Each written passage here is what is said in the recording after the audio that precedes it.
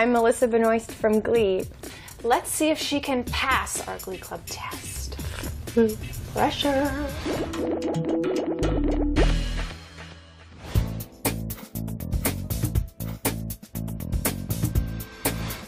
I'm here with one of the newest members of Glee, Melissa Benoist. How's it going? Good, how are you? You like life is good, right? Life is awesome.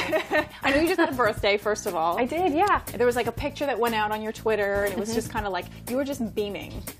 was it like the little macaroons, Yep. or was it the Glee, or is it the combination? Is it the year you had? Everything. Yeah. I mean, I don't know how you couldn't be happy with macaroons on a plate with a candle. that was the birthday cake. yeah. Okay. so this, so this whole Glee phenomenon. I know you were a fan of the show before. Yeah.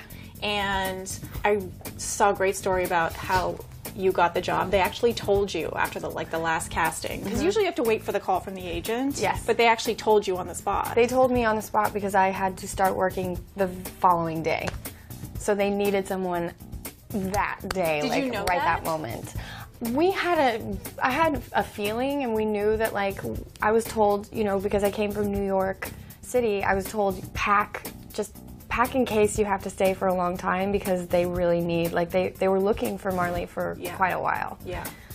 So it was a kind of a last minute like shuffle. Sounds like one of those reality shows where they're like, pack your bags. You may need to leave tonight, and you may not. Yeah. So how? So what? what Ryan Murphy came out to you and, Mm-hmm. and said something. he walked out of the stage and was like, "Oh hi, uh, congratulations, but mum's the word."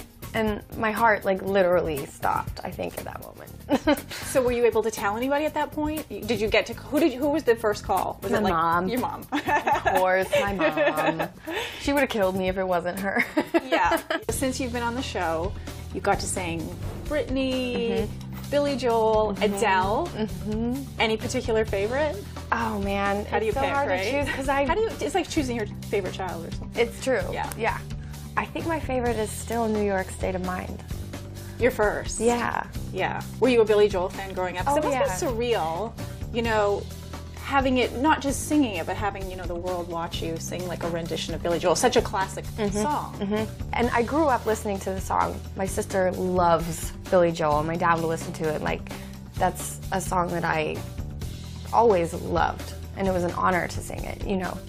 And so, do you watch? Are you one of those people you watch it back? Do you have you have you watched My all the episodes? performances? Yeah. I'll watch them when we have screenings on set, but I am not a person that likes to watch myself. Really? Yeah. Yeah. I'll like cringe. I'll be like, oh.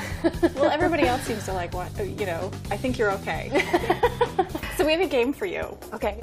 It's called Glee Club or Not. Oh gosh. We are going to list some celebrities. We're actually going to show you pictures of celebrities. Mm-hmm. I'll identify the celebrity. You don't have to do that. It'll be pretty obvious. Uh-huh. And we're going to test your knowledge. Dean Geyer was in here and he played the same game. Did he do well? He got feel like nine would've- out of ten. I feel like he was probably jumping around on the couches too. Like he's so he's so crazy. yes, he's he so a wild. energy. Yeah. So, so we'll say Glee Club or not, whether or not this actor or whoever has released music before. okay. Are you ready? I'm ready. There's no pressure at all that Dean got 9 out of 10. All right. It's over your shoulder, the pictures. Eddie Murphy is the first one. An album. Or single, just any music at all, Glee Club or not. Yeah. Did he? Ding, ding, ding, ding, ding. yes. Rob Pattinson. No. Did he? Robert Pattinson has an album? All on the Twilight soundtrack.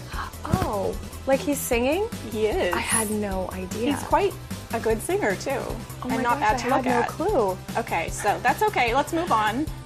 Channing Tatum. I think that's a no too. Okay. Ding, ding, ding, ding, ding. Russell Crowe. I mean, he's singing on Les Mis. Yes. Ding, ding, ding, ding, ding. Rachel McAdams. Um, I think that's a no. You are correct. Yes. Leighton Meester. Yes. Yes. I know that song. yep. Mila Kunis. Who cares when you look like that? I know. right? She looks amazing. Um, no. Correct. Yeah. She's On a on it. Scarlett Johansson. She has an album. Correct. Oh my gosh, no part two laugh, no pressure whatsoever. Regis Regis Philbin. Philbin. He does. Yes, that's the one that Dean got wrong. and you got it right. and last but not least, Gwyneth Paltrow. Yes. Nine out of ten. I feel like we need like one extra to like, you know, break the tie. The the You're gonna have to go back to set and tell him that you tied. he would be him. here in a second. I feel like you could have a. he'd be like, "It's on." it's totally on. Well, thank you for coming in. Congratulations on Glee. Just Thank you. Tiny little show.